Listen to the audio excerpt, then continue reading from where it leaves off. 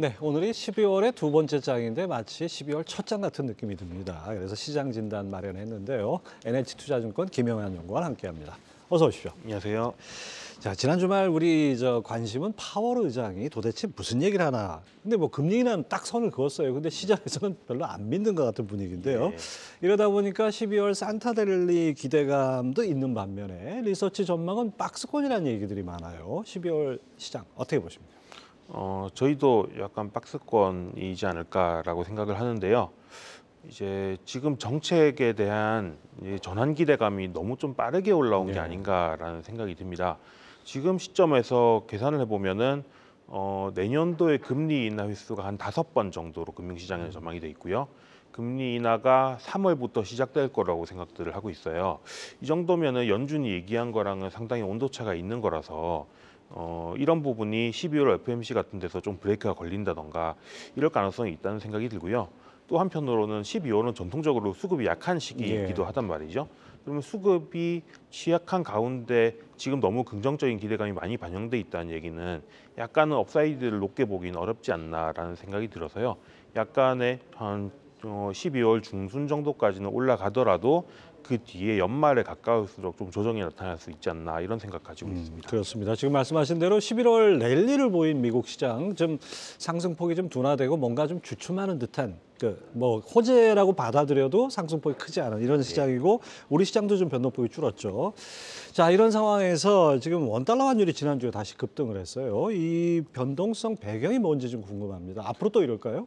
어, 당분간은 그럴 것 같고요. 이게 사실 국내적인 요인보다는 해외 영향이 큰 것 같습니다. 지금 어, 유럽은 이미 경기가 안 좋은 상황이고 미국도 약간 경기가 안 좋아질까 봐 걱정들을 하고 있는 상황인데 그러다 보니까 미국이 금리 인하를 언제 하느냐 아니면은 영, 그, 유로존의 20인 언제 금리 인하를 하느냐라는 논란들이 있는 상황이죠. 그러면 물가 지표가 조금 안- 낮게 나오고 경제 지표가 좀 깨지는 시점이 되면은 유로존이 경제 지표가 안 좋게 발표가 되면 유로존이 그러니까 유로화가 약세를 보이고요. 예. 그리고 미국이 약간 물가 지표가 둔화가 되면은 달러가 약세를 보이고요. 이게 스윙을 하면서 미국 달러가 약세를 보일 때 원화가 상대적으로 원화는 사실은 가만히 있었는데 좀 강세로 보이는 이런 부분들이 아. 나타나는 게 좀 출렁거림의 원인 같은데 아직까지 당분간은 언제 금리는 나설 거다라는 게 명확해지기는 아직은 좀 이런 시점이라는 생각이 들거든요.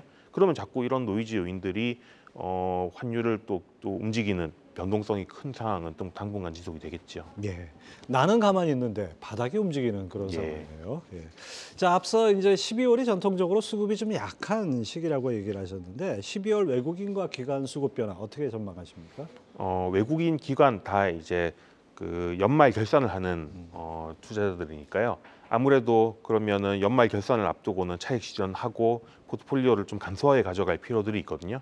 그래서 그 기관이야 뭐 국내 주식 비중을 어느 정도는 깔고 가야 되는 곳들이니까 사고 팔고 매매가 있는 좀 줄어든다 이런 정도지만요.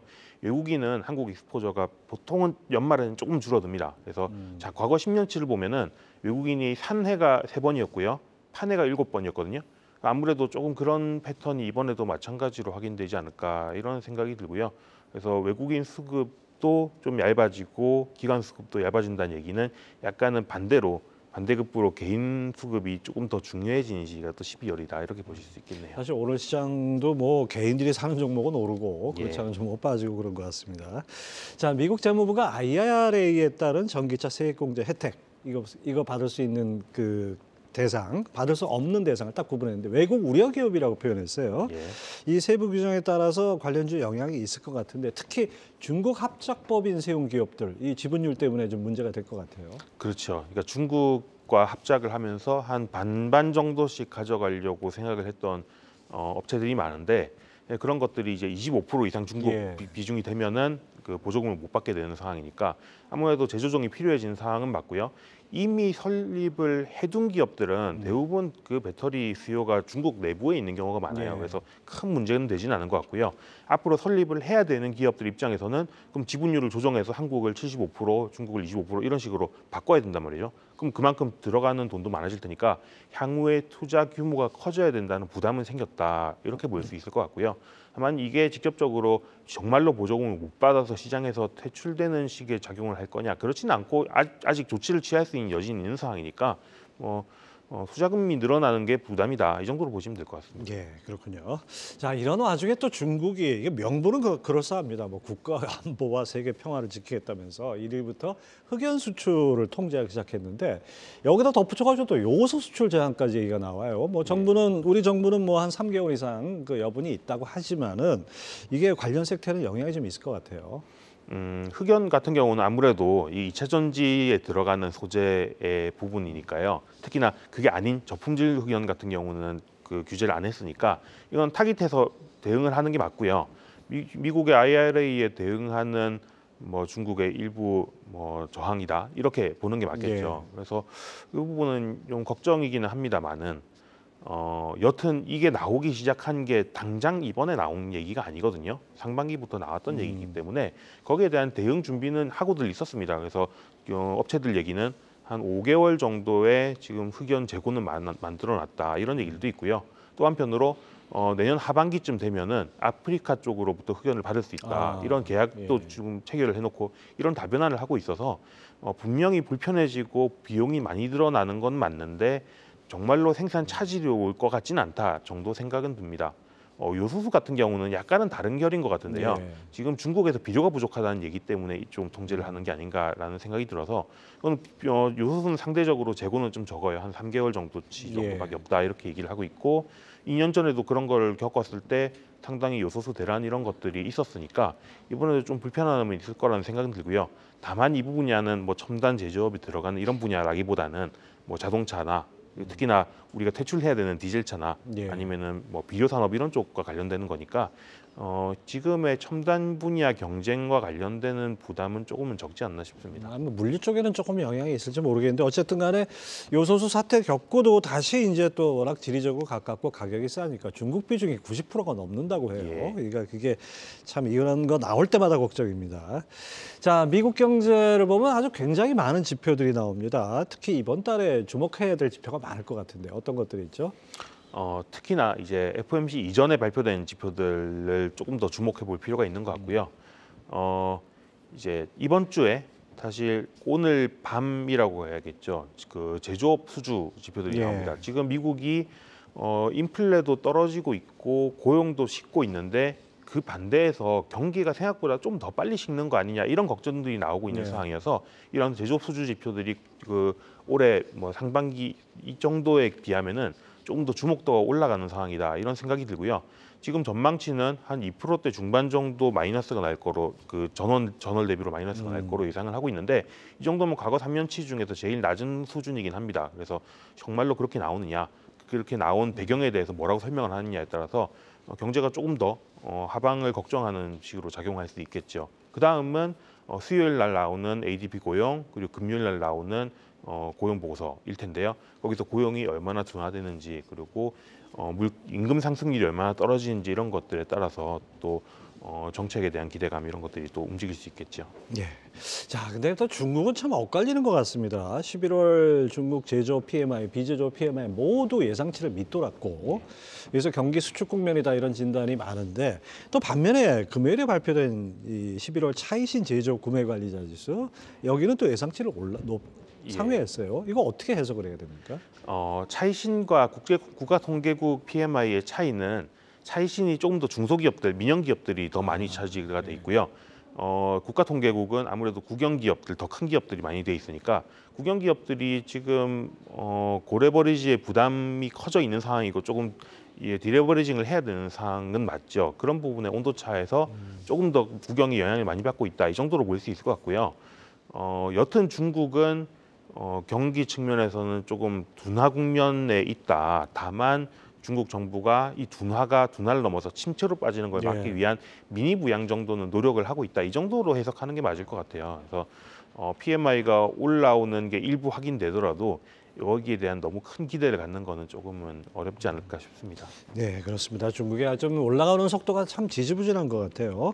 자, 지난 금요일 또 우리 수출입 동향 발표됐는데 10월에 이어서 11월에도 예. 증가세가 되- 됐습니다. 예. 이거 해외 아이비들도 상당히 좀 긍정적으로 본다고요? 예, 어, 11월에는 사실 10월보다는 약 간은 서- 플러스긴 하지만 약간 낮아질 거로 생각들을 많이 했어요. 한 6%에서 4% 정도로. 예. 근데 세- 생각해 실제로 보니까 공개된 걸 보니까 7%로 오히려 10월보다 예. 더 올라갔거든요. 보통은 9월, 10월이 이런 제 성수기고요 수출에서 11월, 12월은 10, 9월, 10월보다는 약간은 둔화되는 시기입니다. 왜냐하면 재고를 보통 쌓아두는 기간이 9월, 10월이었기 때문에 그런데 이번에 더 좋았다는 얘기는 생각보다 수요가 어, 한국 주- 주요 수출품들의 수요가 탄탄하구나라는 생각이 드는 거고요. 아무래도 글로벌 IB들도 그러면 어, 결, 글로벌 경제가 다 둔화되는 곳, 곳들이 많은 가운데 들어올려지는 게 한국이다라는 부분에 대해서 좀 긍정적으로 생각하는 것 같아요. 그래서 글로벌 IB들은 조금 길게 전망하는 데들은 2025년까지 괜찮다 이렇게들 얘기를 하고 있는데 뭐 한국 입장에서는 특히나 어, 뭐 반도체 같은 것들이 같이 좋아지고 있다는 점에서 좀 긍정적으로 볼 수 있는 것 같습니다. 음, 뭐 글로벌 경기가 좀 침체로 간다 뭐 이런 얘기들이 있는데 우리 수출이 살아난다는 건 반가운데 특히 이제 주목되는 게 반도체가 16개월 만에 플러스 됐다는 거 예. 아니겠어요? 이제 회복될 일만 남았다고 봐도 될까요? 예, 회복이라고 보는 게 맞는 것 같습니다. 반도체가 그 동안에 어, 수요가 한번 위축이 됐다가 좋아져야 되는데 사실 좋아지지 못하고 기간이 꽤 길었잖아요. 그렇죠. 그 기간이 길었던 이유 중에 하나가 뭐냐면은 어, 서버용 투자 이런 쪽이 원래는 돼야 될 만한 상황인데 금리가 높아져 있으니까 적극적으로 투자하기에는 자금 상황이 좋지가 않았고요. 그리고 그 줄어든 가운데 투자해야 되는 비용들은 다 어디로 가냐면은 AI 반도체 같은 첨단 탄 그렇죠. 반도체로 갔단 말이에요. 예. 그러니까 오히려 범용 바- 범용 서버에 대한 투자가 될 수 있는 여력 자체가 줄어들어 있었다 이런 부분이 음. 컸던 것 같거든요. 근데 최근 움직임을 보면은 하이엔드 투자 어- 어느 정도 해놨고 그러고 난 범용으로 다시 이제 이 자금이 돌아오는 모습인 것 같아요. 그런 것들을 보면은 어, 반도체가 좋아지는 거는 조금 긴 호흡에서 이번에는 볼 수 있지 않을까라는 생각이 들고요.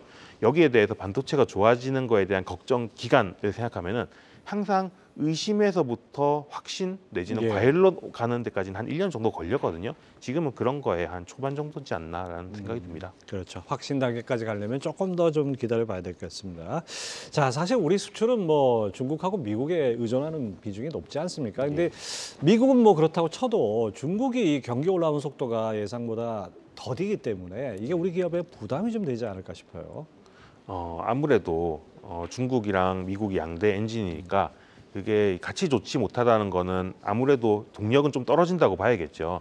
다만 어, 중국이 중요하다라고 얘기했을 때 한국에서 중국향 수출이 차지하는 비중이 20% 중후반 정도까지 갔었거든요. 예. 지금은 한 20% 정도로 낮아졌습니다. 반면에 중 미국향 수출은 그때 당시에 한 10% 중반이었어요. 지금 20%까지 올라왔습니다. 예. 미국과 중국이 거의 비슷하죠. 거의, 거의 비슷하게 주- 어, 중요해진 상황이고 그리고 중국이 그동안 계속 중국 향 수출 비중이 떨어지면서 중국에 대한 눈높이가 시장이 많이 없어진 것도 사실이거든요. 그런 것들을 생각하면은 지금 와서 중국이 안 좋기 때문에 얼마나 경제에 데미지를 얻- 얻을 것이냐, 어, 증시가 얼마나 그것 때문에 내리 눌리, 눌릴 것이냐라고 하면은 그 부분은 많이 희석돼 있다는 생각이 들고요.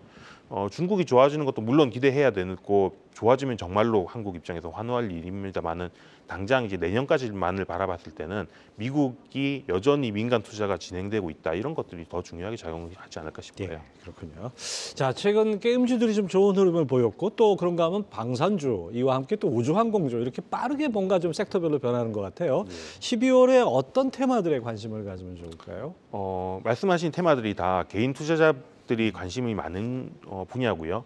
어, 근데 개인 투자자들의 이런 관심이 굉장히 호흡이 요즘은 빠르게 돌아가는 것 같아요. 그래서 이런 것들을 12월 중에 뭐 한 1, 2주를 타깃해가지고 잡는 게 용이하냐 쉽지 않은 것 같고요. 그렇죠. 그래서 저희는 오히려 어, 이런 개인 수급이 계속 밝히는 거를 뒤따라가는 것보다는 오히려 한 1, 2월까지 보면은 이제 포트폴리오 재조정을 끝낸 외국인들이 네. 다시 국내 주식을 살 수 있으니까 그거를 바라보고 12월 대응을 하자 이런 생각을 하고 있고요. 그럼 두 가지 정도 고민이 되는 것 같습니다. 하나는 어, 연말 이, 이외에 3월에 다시 배당 기한일을 정하는 기업들이 이번에 생기거든요. 예. 그래서 그거를 바라보고 1, 2월에는 배당 투자들이 또 그쪽 기획 쪽으로 쏠릴 수 있기 때문에 이런 분야에 관심을 가지자라는 말씀을 드리고 싶고요. 관련되는 거는 주로 어, 금융주랑 자동차 이렇게 보시면 될 것 같습니다. 두 번째는 내년도 실적이 한 올해보다 더 좋아질 분야들일 텐데요. 어, 반도체랑 그리고 시크리컬들 일부 종목들 이렇게 같이 보고 있고요. 예, 잘 들었습니다. NH투자증권 김영환 연구원 함께했습니다. 말씀 감사합니다. 감사합니다.